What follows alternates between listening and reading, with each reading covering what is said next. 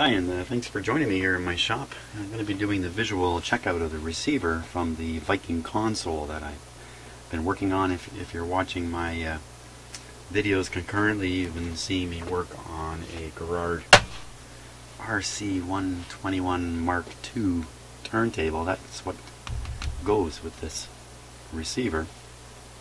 When this is in the console, it's facing straight up. So you open the lid, you look down in, and that's what you see there. So uh, Viking is a kind of an off brand. I don't want to I don't want to knock it or anything like that. Um, but let's have a look at it. Stereophonic high fidelity. I'm just doing the visual check now. Right off the bat, when I was removing this, I was a little surprised to see that there's nothing connected to the output uh, transformers. And uh, it surprises me because I thought I heard this operate in the owner's home uh, about a month and a half ago or so when I went out to first take a look at it. Um, so either between then and now the speakers were unplugged from here or uh, you know I'm just uh, I'm just crazy crazy as possible. So we're just taking a look at it. Antenna connections. Uh, you know, I like these things because they're uh, like like an engineer's design, let's say. Uh, there's a lot of space available, so when they're designed, I don't think they're they're designed to be as compact as they might otherwise be. And I think the uh, engineers have a little more freedom uh, to to put uh, to put into it what they want. It's got four output tubes here. Let's just take a look and see what they are. 50C5.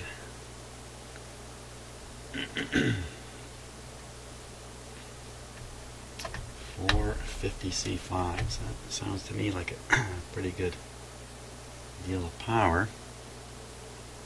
Obviously it's stereo. Um, this is from around 19... 50. That looks like a pretty new tube there. It's here in the late 50s, 57, 58, 59, something like that. Yeah, they're all 50C5s. I'm just making sure because I had been surprised in the past to find out uh, wrong tubes are have been put in. So, um, so I'm just looking for any evidence of weirdness, like like the output uh, transformers are cooked. No, they look fine. Uh, all the tubes are in place. I don't see any particular damage. That's a little odd. There's a piece of braid here going nowhere. It's got these two, uh, I believe these are just basically resistors. Don't know for sure what's going on, but maybe the heaters here are in series across the line, and this is a uh, resistor to, to uh, drop the voltage uh, down to 100 that these require. Um, where's the power, where's the big transformer? Big power supply transformer. My my, there isn't one. Unless it's buried underneath here. String is in place.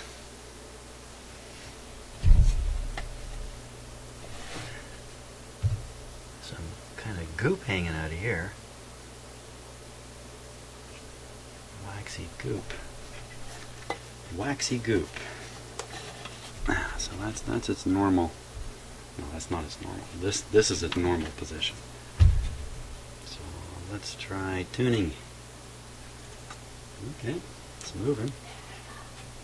Feels pretty good. Capacitor's turning. What was that? Kind of jump there. Probably my imagination. A little stiff. It probably requires a bit of lubrication to loosen that up. Now, let's take this bottom panel off.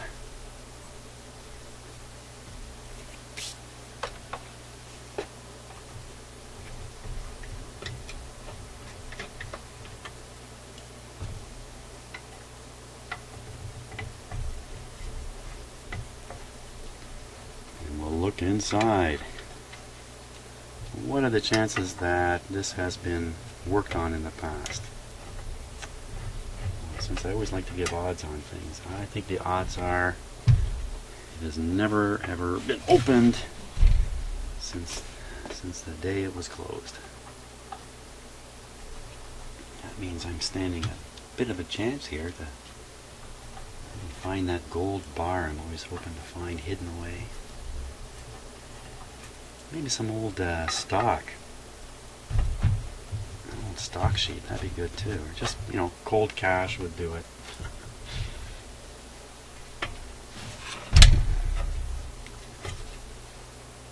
No money inside, no money.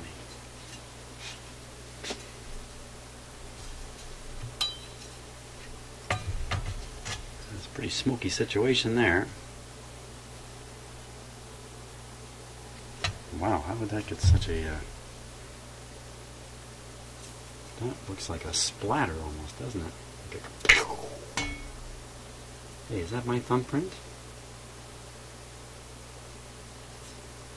I don't think that's my thumbprint. Hmm. so, I'm not the first one in here. You've seen the evidence.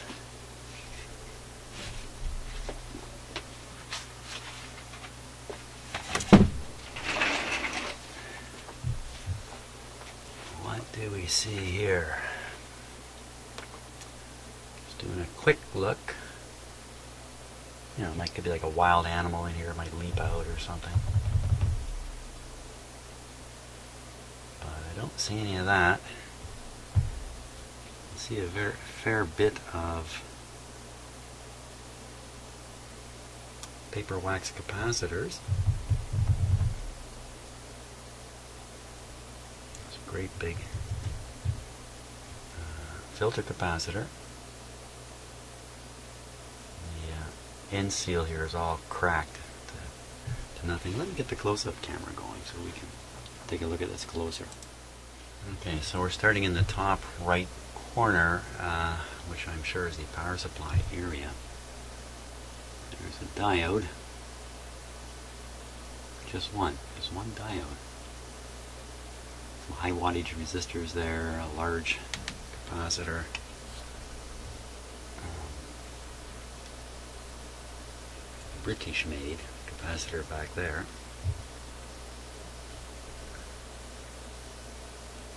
a high wattage resistor tucked way up in there. I don't see any reason why there would be smoke on that. Smoke coming out of this, part of it.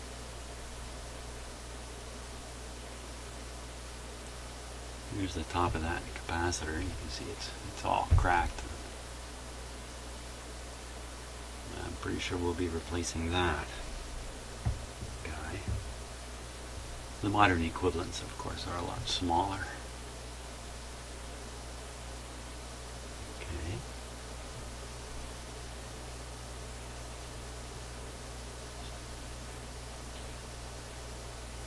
Seems alright. But might be cracked there for a minute. Ooh, there's a big Black Beauty molded capacitor An electrolytic one back in here. There's another one down here. Hmm. Lots of potential trouble there. You see, the thing looks pretty clean. I mean, it's been encased in metal. Maybe encased is too strong a word. Okay, so we're up in the tuning area here. The tuner area.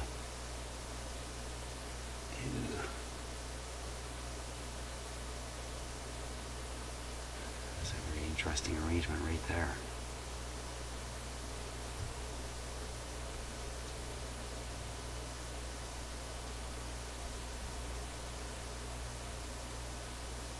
Just trying to get the focus right here. Just looking for anything that looks bad. There's another molded capacitor right here. Another one here.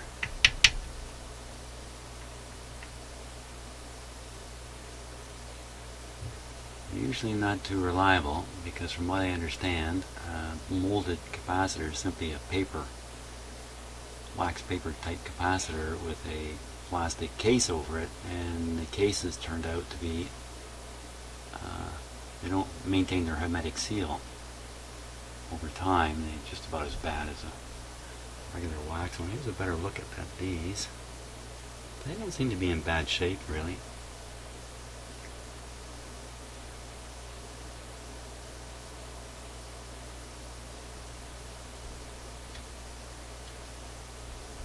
The top of that doesn't look right. Oh, is there writing on there?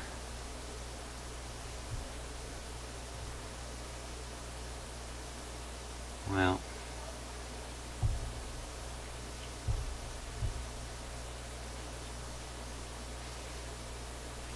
nothing too scary here.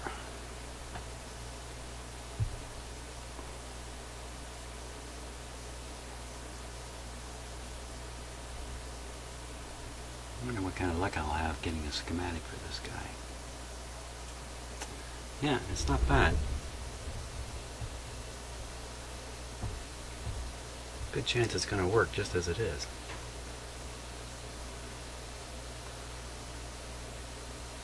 That would kind of be my hope.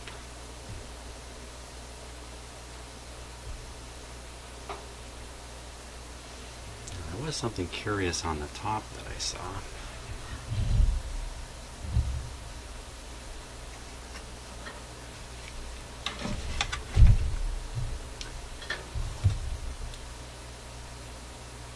It's these two wires here.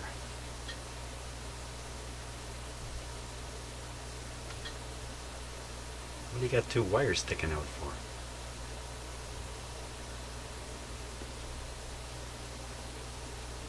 Let's see if we can figure out where they go underneath. Well, they're right in the they're right in the power supply area down in there somewhere.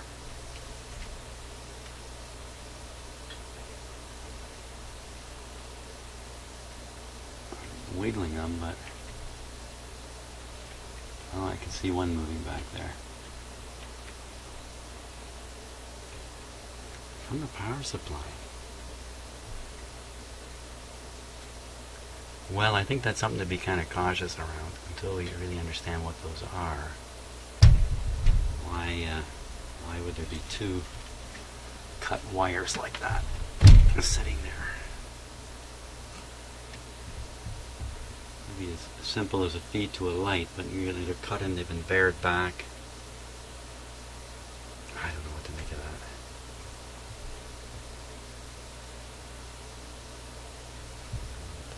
Tin capacitor up here. Looks beautifully clean.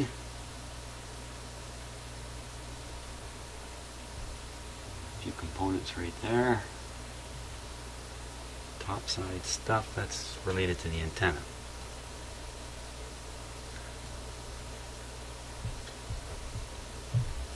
Take a look at the output transformers. They, they appear to have been in a different world from the rest of the uh, unit.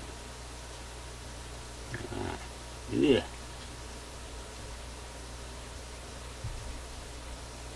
Doesn't mean they're bad or anything, but they, they, they look like they've been singled out for especially bad treatment. You know, it could be they run warm.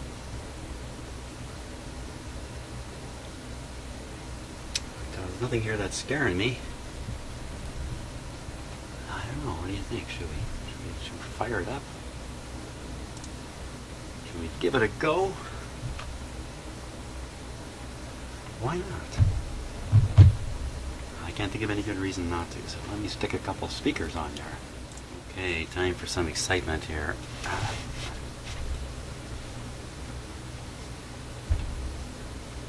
I'm going to hook the F FM antenna to my outdoor antenna.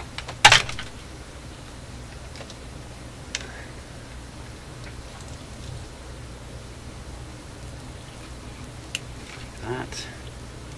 AM, of course, is a loop here.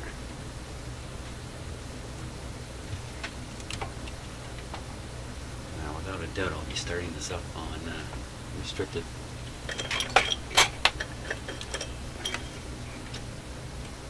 backlight bulb here.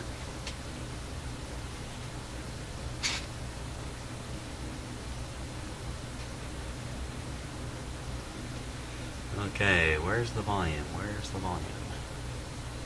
That's the selector. Wow, it's easy to turn. Balance level. Balance level. Balance level. It's kind of weird. Off treble. That's off. Bass. Oh, it must be two controls in here somehow. Yeah, there's a two different shafts. I didn't notice that when I uh, took the knobs off, which are still upstairs in the console. So I'll make sure they're both turned down. And now when I turn the control there, they go together. So we're at zero there, bass in the middle, oh, treble, gonna be in the middle, selecting AM. I think we're ready to go. What do you think? Someone's yelling, don't do it, Jim, don't do it. Okay, gain switches off. See, nothing happening on the light bulbs, which is what we want. Incidentally, although I don't mention this, uh, on the video you can hear all kinds of electrical snaps and pops and stuff as I'm connecting equipment and throwing switches, and none of that is audible to me here in the shop. But actually, you get a little more information than I get. Um, because for some reason my microphones or something about my video setup is very sensitive to, to things like that. And the only reason I even bring this up uh, is because once in a while I see it on the uh, VU meters that show my uh, voice level. I can see they've gone into red and there's no reason. I can't see any reason for it. So anyway, enough of that. I'm just delaying, trying to build the tension, build the tension. Here we go. Here we go. Nothing's going. And once again, I haven't plugged it in. yeah, okay. Enough of that excitement. I think I'm going to power it up from my panel. So turn it on. The trouble about midway. Put my finger up here. Turn it down. Keep your eye on the light bulb. Very bright light bulb. Very bright. Very, very, very bright. Very, very, very bright. But I can see from this panel meter here that it's charging something up in there. Big honking ugly capacitor. These lights are coming on. That has more voltage is being supplied to the radio. The lights start to show. Even this one's starting to show. I do hear something. I hear a hum, I think. Let's turn the volume up. With such low supply voltage right now, um,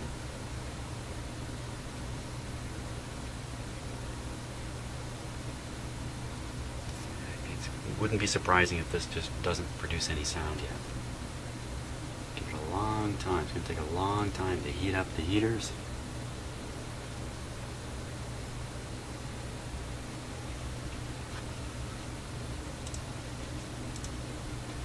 You can see them heating up there.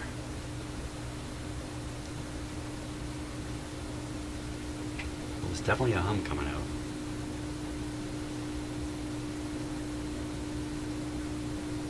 No smoke, no flames, no crackling.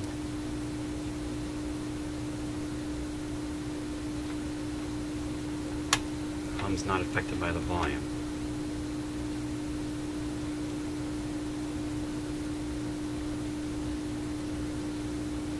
Just let keep warming up here. We're at about uh, almost 50% of the line voltage, so it's running on about 60 volts right now pretty sure if I step it up, that hum's going to become really dramatic.